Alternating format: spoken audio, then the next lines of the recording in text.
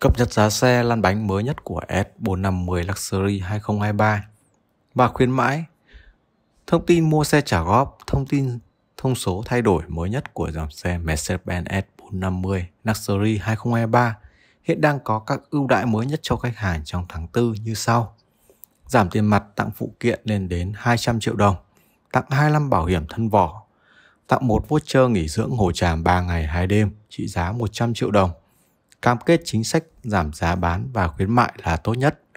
Tặng gói dán phim cách nhiệt chính hãng, phủ lano bề mặt sơn chính hãng cũng như là tặng một bộ thảm trải sàn của Mercedes-Benz. 25 bảo dưỡng miễn phí, hộp quà của Mercedes-Benz. Để chiếc xe S450 Luxury 2023 có thể lăn bánh hợp pháp trên đường thì anh chị và các bạn cần chuẩn bị ra những các khoản phí như sau. Phí trước bạ là 12% đối với Hà Nội, 10% đối với thành phố Hồ Chí Minh và các tỉnh thành khác. Phí đăng ký biển số là 20 triệu đồng ở Hà Nội, thành phố Hồ Chí Minh, các tỉnh thành khác là 1 triệu đồng. Phí bảo trì đường bộ là 1 triệu 560 nghìn, phí đăng kiểm là 340 ngàn. Bảo hiểm trách nhiệm dân sự dưới đây thì em sẽ cập nhật cho anh chị và các bạn giá liêm yết và lăn bánh tạm tính của Mercedes-Benz S450 Luxury trong tháng 4 năm 2023 như sau. Với dòng xe Mercedes-Benz e S450 Luxury 2023, giá niêm yết là 5 tỷ 559 triệu. Giá lăn bánh tại thành phố Hà Nội là 6 tỷ 249 triệu. Giá lăn bánh tại thành phố Hồ Chí Minh là 6 tỷ 137 triệu. Tỉnh là 6 tỷ 117 triệu. Anh chị và các bạn lưu ý giúp em giá lăn bánh của S450 Luxury 2023 trên chỉ mang tính chất tham khảo, chưa bao gồm khuyến mại tại đại lý cũng như là giảm trừ. Rất nhiều anh chị và các bạn đang quan tâm về chương trình mua xe trả góp. Hiện à, với dòng xe Mercedes-Benz S450 Luxury 2023 hiện đang được ngân hàng hỗ trợ cho anh chị bạn các khoản vay từ 50 đến 80 85% giá trị xe. Để anh chị và các bạn có thể nắm rõ đầy đủ thông tin chi tiết cụ thể về số tiền anh chị và các bạn đang cần vay thì hãy liên hệ theo số điện thoại trên màn hình, em sẽ gửi thông tin chi tiết cụ thể cho anh chị và các bạn.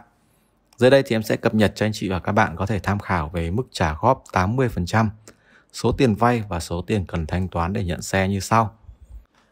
Dòng xe Mercedes-Benz F450 Luxury 2023 giá niêm yết là 5 tỷ 559 triệu Mức vay 80% tương đương số tiền anh chị vay là 4 tỷ 447 triệu.